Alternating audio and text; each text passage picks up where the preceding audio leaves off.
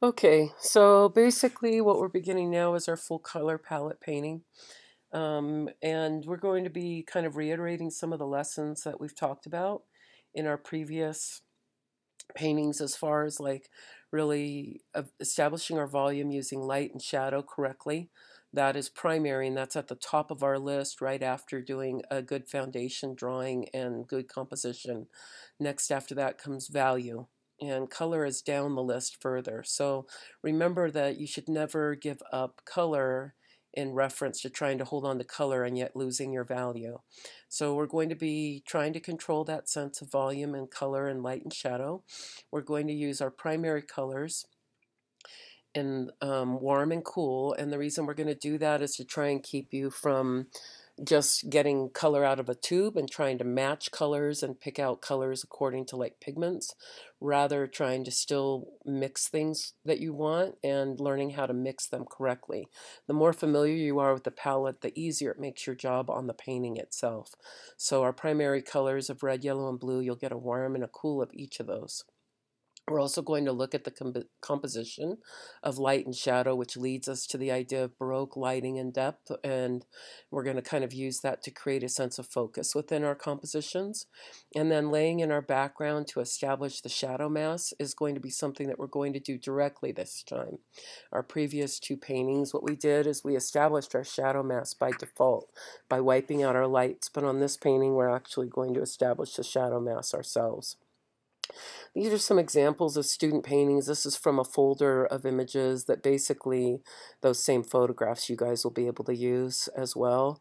And then I switched a couple of years ago to doing all still lifes for this project because there's so much value to learning how to do the still life from real objects. Um, but obviously with working online we're not going to be able to do that quite so easily, at least not this semester. So these are some examples from the still life. And you notice how the painting, even though it's in full color, it still feels like everything pulls together. The color doesn't feel separate from other things. And that's kind of the virtue of working with like a limited palette, which is essentially what we're still doing by just using the primaries and mixing. We're using a limited palette and we're using those mixtures of color and establishing a shadow mass and a light mass and um, and it brings a continuity like we don't have four different greens. We have basically one or two greens that we can slightly adjust one way or the other to make them more what we want but there's a little bit more clarity to our color and it all pulls together a little better and it becomes unified by value of using the same colors in other places. And this is a great example of that because you can see the violets that are used here tie very nicely to the violets that are used within these grapes as well as the violets that are used within this transparent glass bottle. Um, another thing that's nice about this image is you can see how the shadows have a lot of resolution and color to them, um, but they're definitely different from the light sides, and the light sides are very separate from the shadows. Um, you can see that this violet was brought throughout even within like accents within the leaves and the shadows in here. So it's one of the things I really would like you guys to focus on is how to pull your painting together as a whole. This is a wonderful example right here. It was from the same still lives that you're seeing back here. Um, but the still life, instead of painting all the red drapery that was in the background, that was the red drapery that you see down here. They blacked it all out to create a sense of focus within the painting and to let this become the primary element of the painting. And you can really see how it focuses most obviously on these elements and then secondarily on some of these elements here. So there's a real richness to it and it really allows you to direct the viewer to what you want them to look at. This is another one that used the idea of the Baroque painters of um, simplifying out the backgrounds and creating a sense of focus in the immediate objects. Um, this one did it, not quite so obviously, but it did do it. You can see that there's a richer light happening within these areas and then within this counterbalance area right here. And then in this area, all this red drapery in the background, um, this artist lowered the contrast level down quite a lot and also took away some of the saturation of the red so that these stood out more. I think if I were going to say anything, I'd say maybe like increasing some of the light right through here might have been a nice touch to help connect these just a little bit more. Um, another one here, this one and this one are from the exact same still life.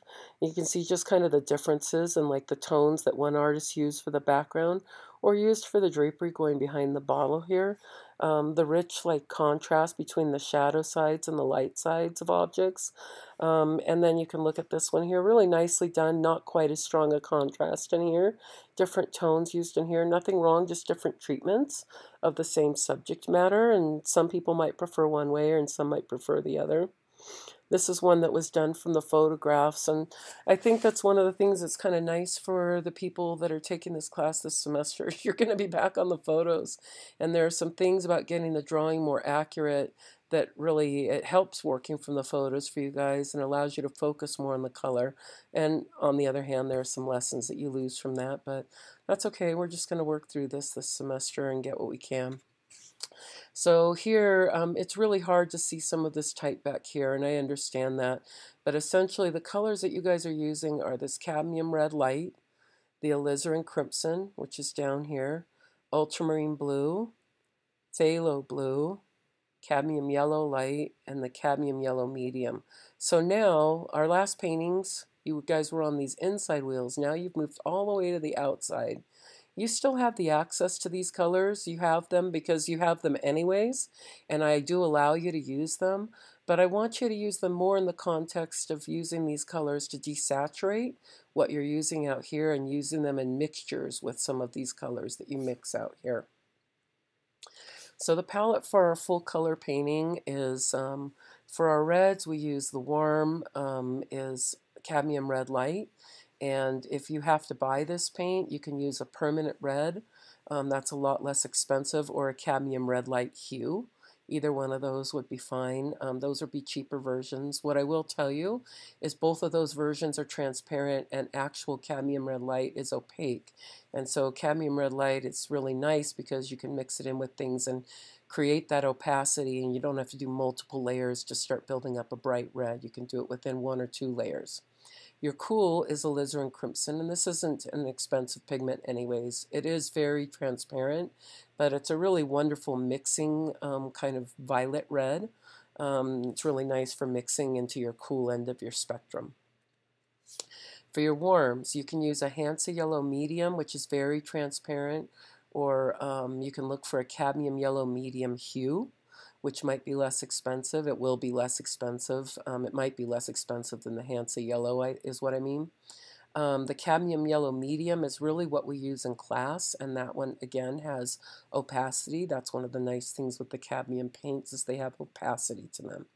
Um, so cadmium yellow medium is what I recommend for this project, but you can use the cadmium yellow medium hue, which is a replacement, or Hansa yellow medium. It's just they'll both be transparent. For your cool, what we use in class is cadmium yellow light. Um, the transparent versions that are less expensive of those are the Hansa yellow light or lemon or cadmium yellow light or lemon hue. Okay, and those would be your replacements that are less expensive if you need to buy it. For the blues, we're going to use the phthalo blue, and phthalo blue often comes in either a red shade or a green shade, and if you have the option, I would suggest the green shade as being the better choice because it's a little bit warmer. Not a lot, but it is a little bit warmer. Um, this is already not a terribly expensive pigment, so you don't need a replacement for it. Um, you also might see it called phthalocyanine or something like that. It's got a long chemical name. Don't let that throw you off. We just all call it phthalo blue because it's a lot easier to say. For your cool, my recommendation is ultramarine blue deep. You might not be able to find ultramarine blue deep. If you have a problem with that, you can get regular ultramarine blue. Do not get French ultramarine. Okay, it needs to be just regular ultramarine blue or ultramarine blue deep, which is a little bit cooler in nature.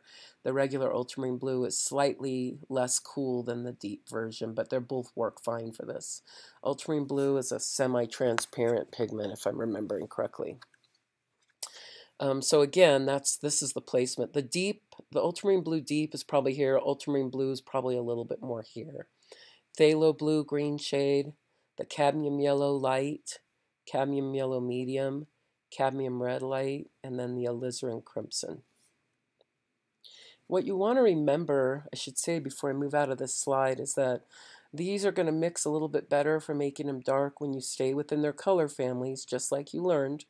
Remember that if you move to the other side for their color fam of their color family, and even though this might not feel far as far as physical distance, as far as the crow flies, if you really pay attention to it, this is all the way on the other end of the color wheel from the yellow here. And so it's going to make it very green toned.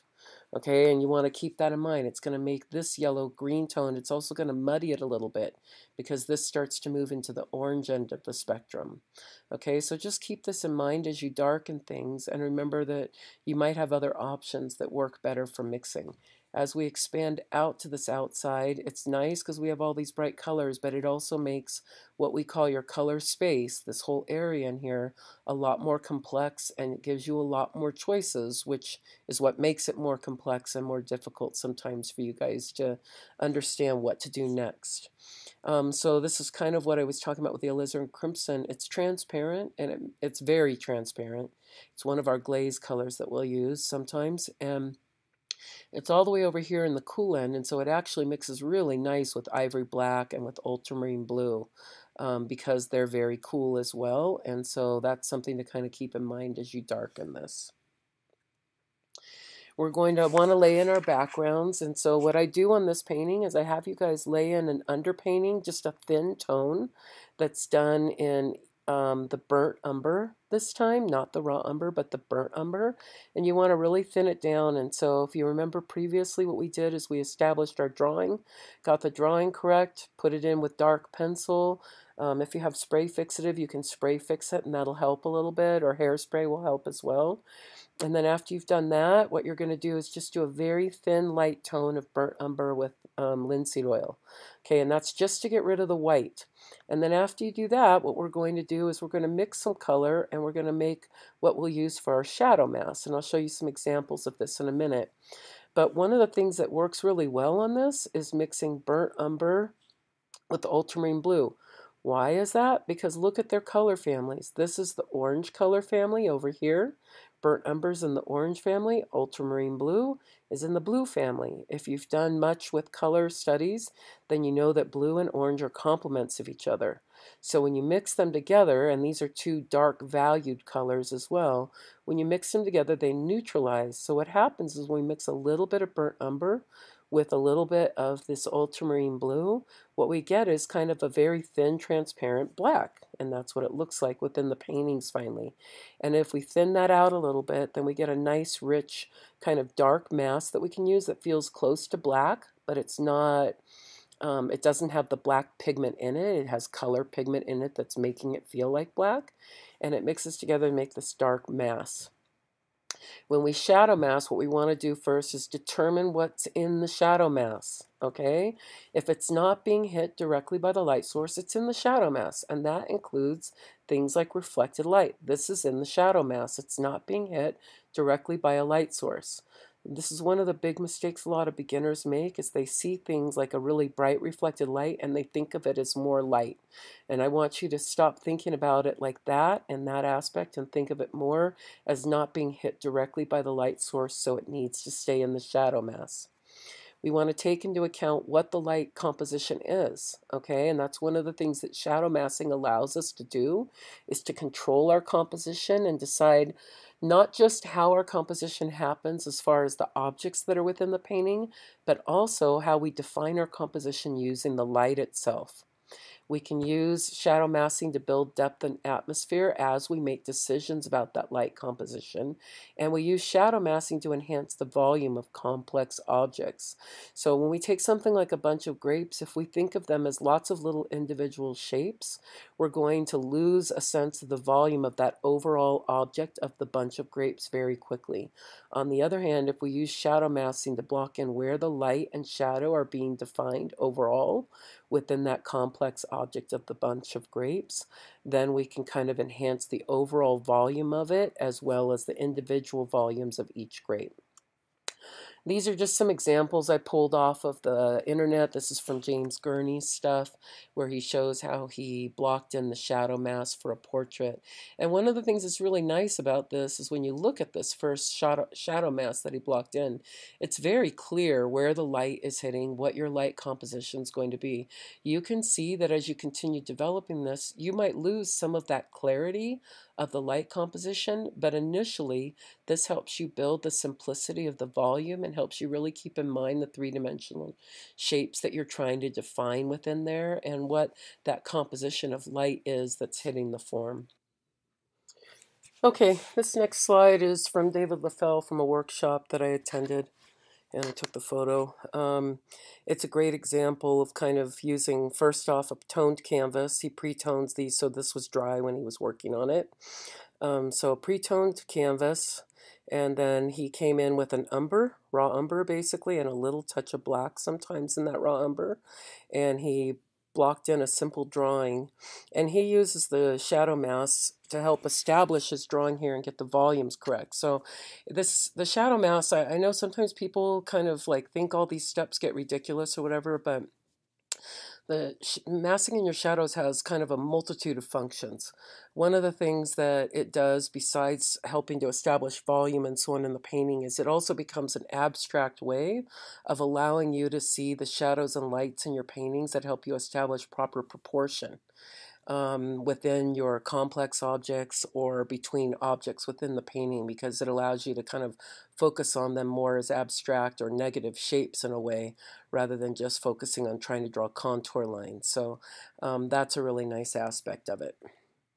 Um, the shadow mass also becomes a way of kind of solidifying what we're doing within the object. Um, and so in this case, the shadow mask was used to also hit some of the color temperatures within here. You can see the difference in the shadow mask here versus here. And this is obviously a painting that's got a little bit more work happened on it, but um, that's kind of what's happening with that. And then this is a completed painting. I think this is a David Leffel painting.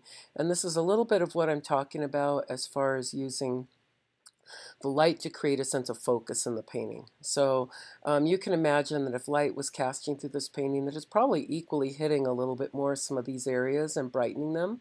What he's done is he's really controlled that focus of light so that it's primarily the hip, secondarily the inside of the thigh, and then we've got a little bit of it up in here, but he's that light is cast just a little bit lower so that we create this sense of focus within this area, which directs our eye naturally to this bright area within the painting.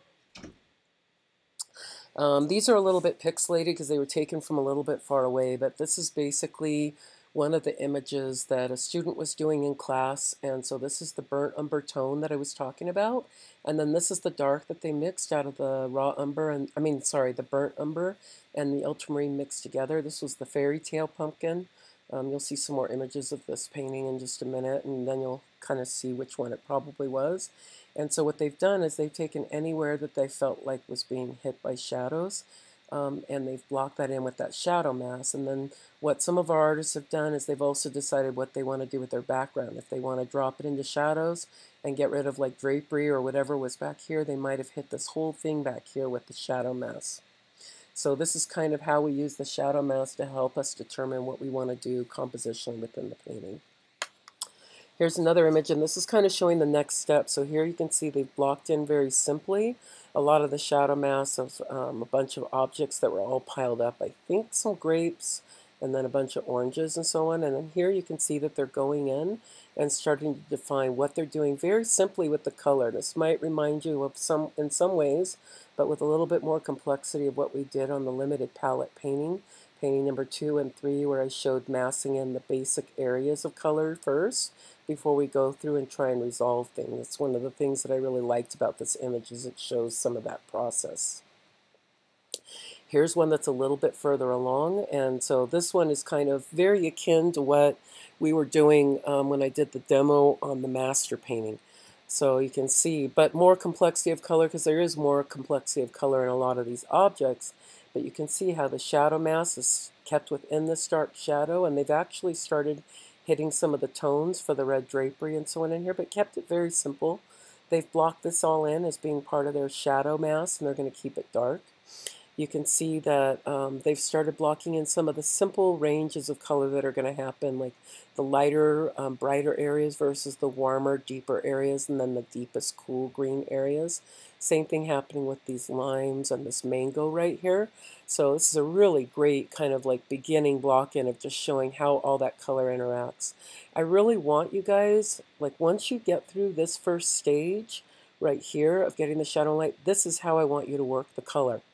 I want you to block it in very simply. And one thing to keep in mind is that a lot of the colors that you guys might end up using on this painting are going to be transparent pigments.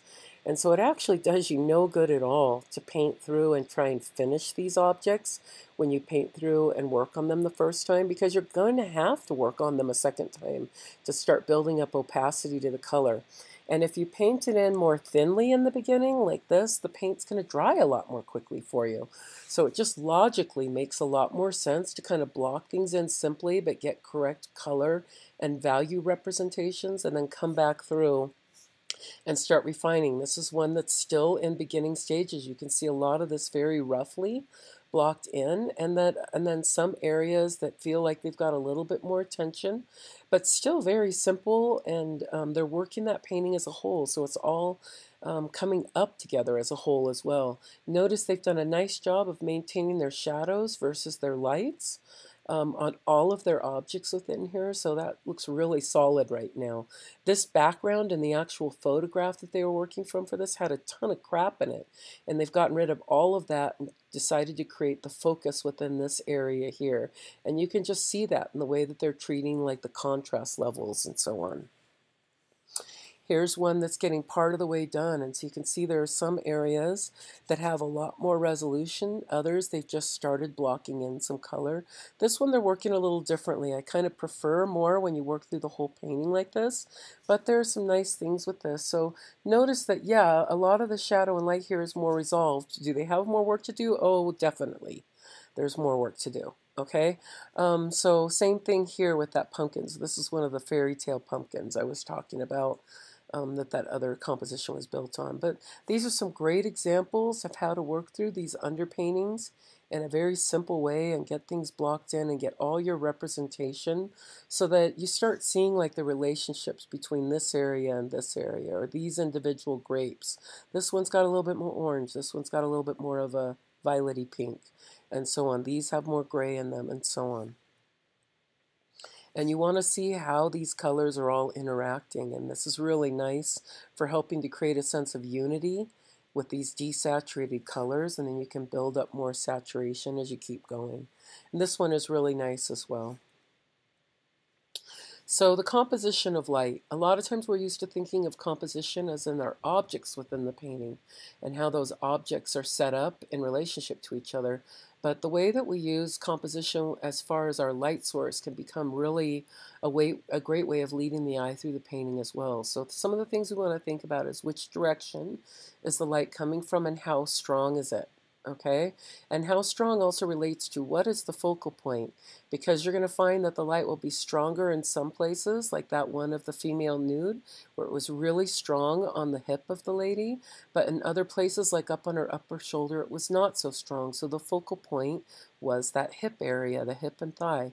How deep are the shadows? If we deepen the shadows behind a bright area, it's going to make that bright area stand out even more as we look at some of these Baroque paintings, we can look at some of um, these things that we were just talking about. How deep are the shadows back here behind this white object? How bright is this light? What's the focal point in this? There's light over on these areas as well, but I would say probably the focal point is this white vase. And it's really nice how this brightness here kind of leads you back up. So you lead in from here, the direction of the light, hit this bright focal point. It's um, isolated by these shadows behind it.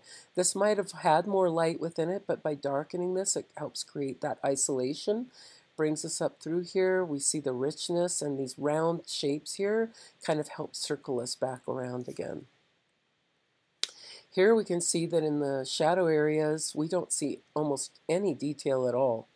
Um, a lot of times people focus so much attention to building up everything that's happening in the shadow area equally to the light area. What the Baroque artists tell us by the way that they've treated their paintings is that the shadow areas are secondary and that the light areas are really where our eyes focus. And logically, that just makes sense. When we have things that have a bright light on them, we tend to look at that first and look at the shadow areas secondarily, if at all. So if we create less of a sense of contrast, less of a sense of detail in the shadow areas, we also help create a sense of we want people to focus in the light. We control where they focus. You can see here the shadows are not so deep. There is some resolution within the shadow areas. Some of the reflected lights are really nice, but the contrast here shows us where the light side of the form actually is. The way that different artists have controlled this, it varies quite a lot.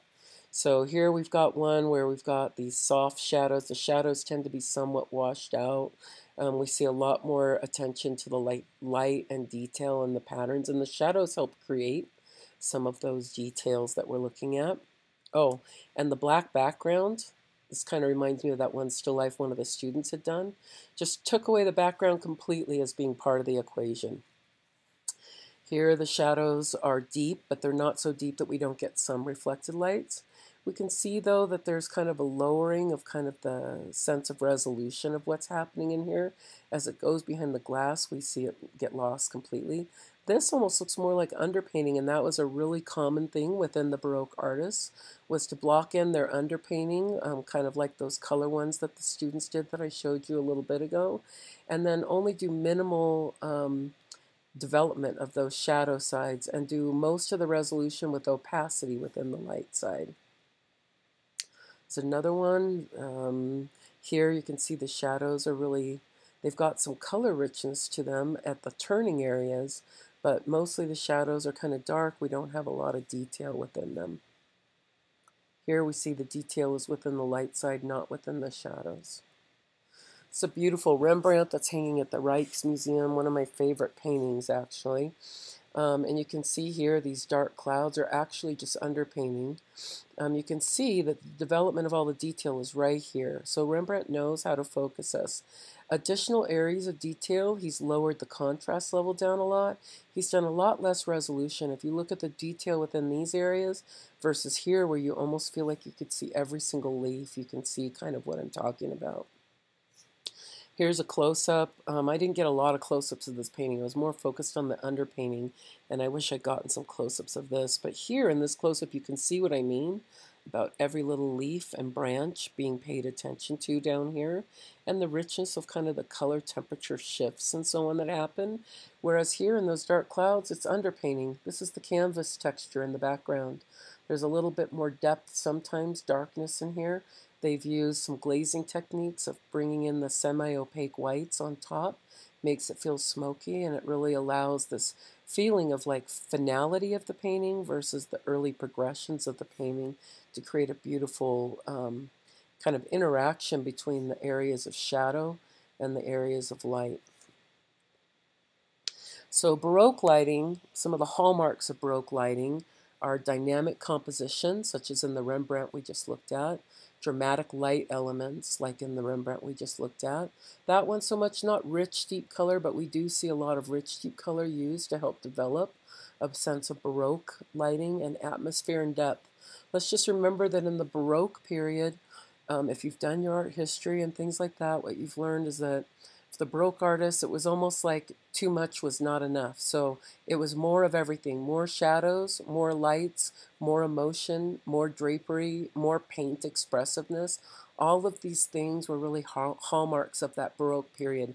It's not that every single painting has all of those characteristics, but the, the paintings that we think of as typic, typical for that Baroque period have at least some of those characteristics.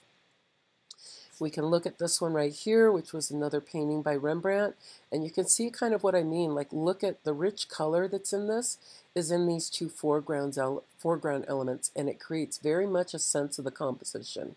We can see the background elements are very desaturated, very low contrast, very little definition within them. They're kind of blocked in just enough to reference what they are and to make you feel like there is a background.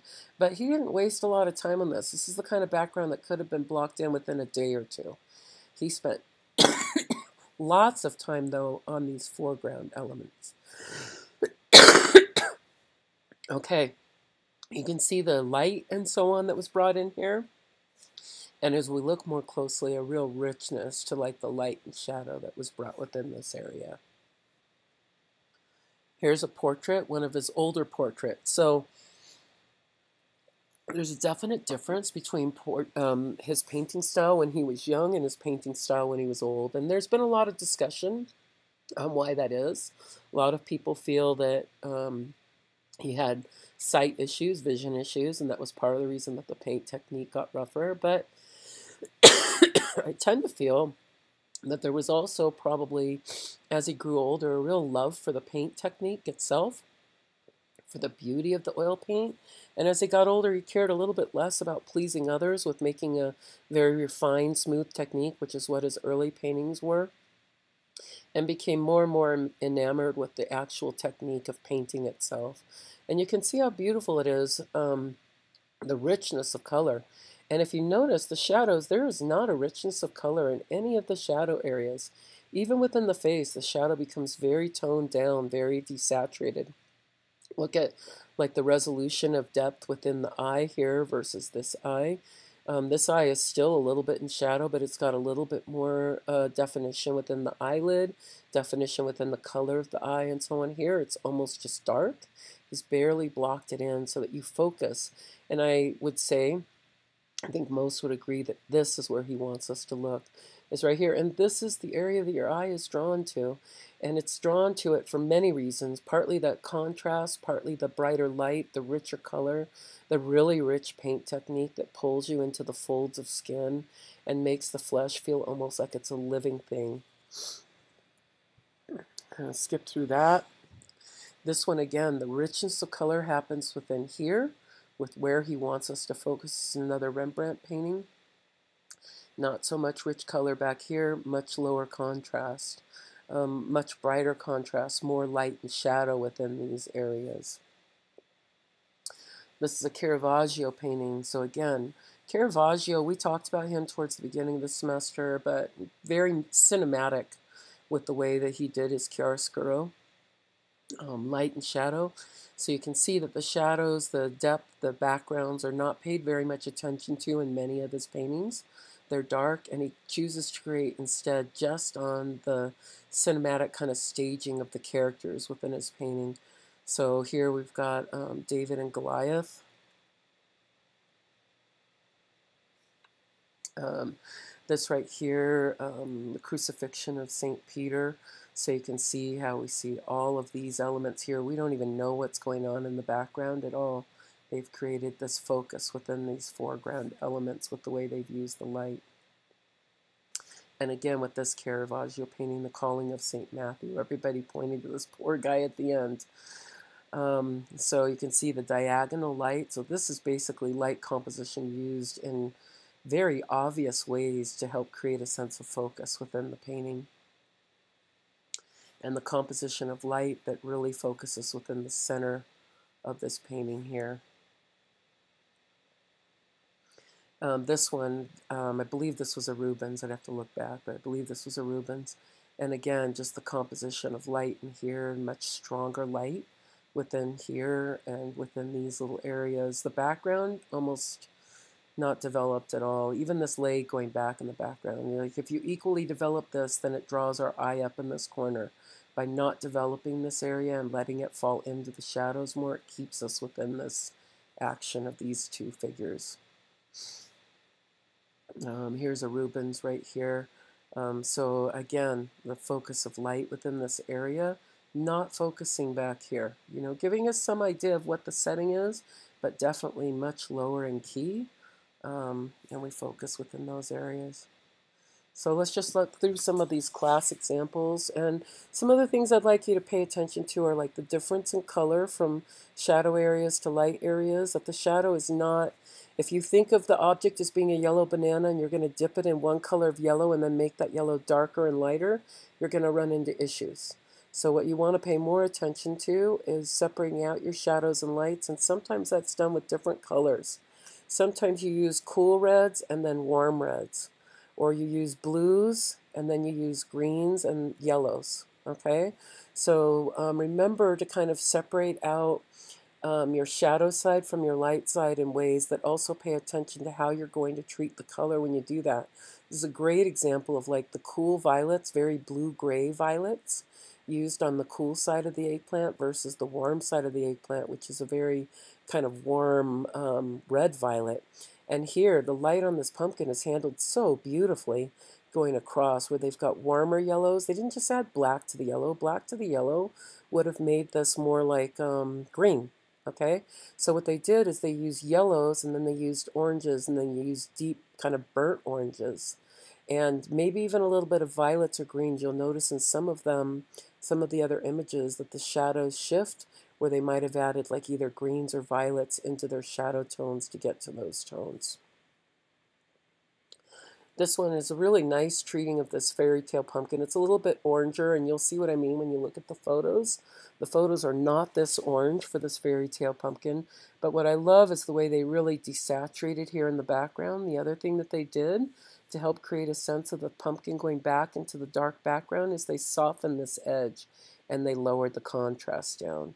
So it allows this area to really come forward and this area to really disappear into the background better. Uh, this was a nice kind of initial block in, um, and I can't remember if they developed it further than this, but I thought this was so beautifully blocked in here as far as like really paying attention to the richness of the shadows versus the light sides and the differing colors. So this is a perfect example of why I tell you guys, please do not paint the object one color and then make it lighter and darker. And this is another great example here using kind of these purpley reds and then the warm reds for the light sides and you can see how just the temperature shifts help create a sense of the light versus the shadow.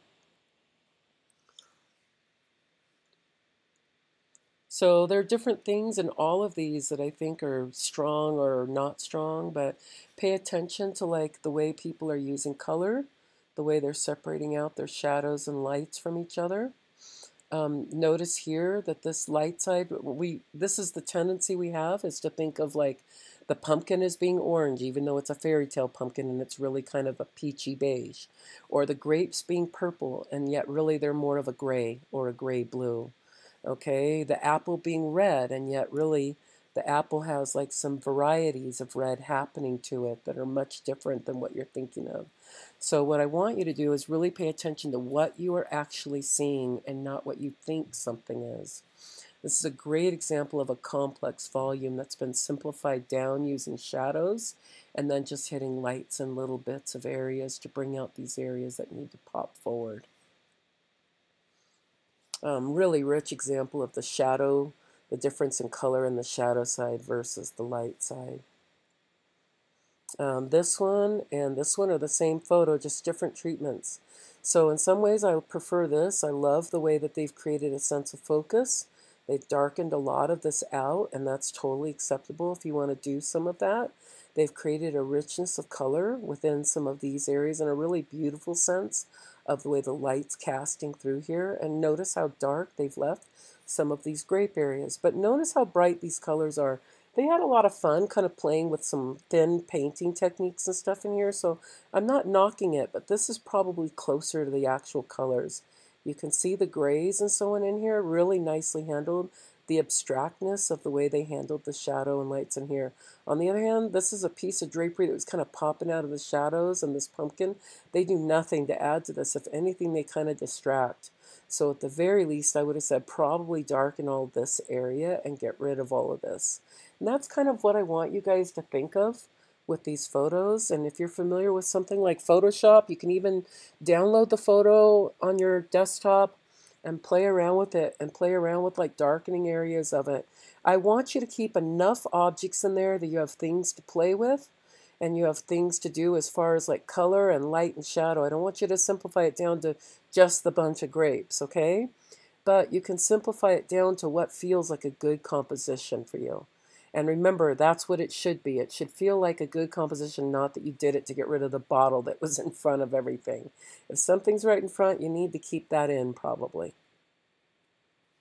Um, this one's from the Still Life again. We looked at this one earlier, but I kind of wanted to reiterate it again after the Baroque lighting part of this lecture so that you saw what I meant about creating a sense of focus within these objects now. This one, they did a really nice job of darkening this and darkening some of these and just referring to them enough so that they felt like they were there, but not so descriptive that they went into an explanation. So that was kind of nicely handled. Um, this one as well, nicely handled. It really creates a sense of focus in these objects. Very much makes its nod to the Baroque masters. Really rich light and shadow and color within these oranges down here and within the pepper and so on. This one, they chose to keep pretty much everything within there, but a beautiful sense of like their colors within the shadow side and keeping a richness in there. Um, this one, they didn't get rid of a lot within this, um, but they wanted to keep the complete thing, but a lot of nice things within this painting as well. These were from Still Lives again. So just a lot of different ways of treating some of these hopefully this gives you kind of a good idea of like what you might want to do. You can remember the other one that I said that they darkened the contrast, but they kept some of the objects in.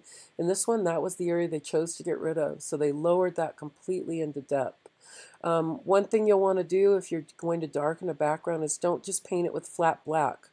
Okay, do it in multiple layers of slowly building up a transparent dark that it feels really transparent, kind of like those underpaintings I showed you earlier and then another layer on top and then another layer on top and you'll get a much better dark back there that feels like it has depth to it because you've built it up in layers. If you do it in just one layer of flat black, it's going to feel very flat like we can touch it. This is one of the pumpkin ones. Nice reference to some of the color and so on in this. And darkening and kind of like softening and letting things fall back in that darkness really nice rich color in some of these areas. And you see the difference between like a red onion and a red, red bell pepper and why you need two completely different reds that you can kind of mix between to get both.